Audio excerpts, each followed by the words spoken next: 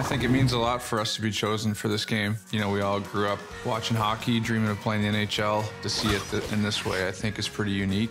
This is an opportunity for uh, the younger generation, younger kids to uh, connect with the game, be a little more intrigued, and hopefully it allows them to have a little better understanding and, and be a little more excited about watching.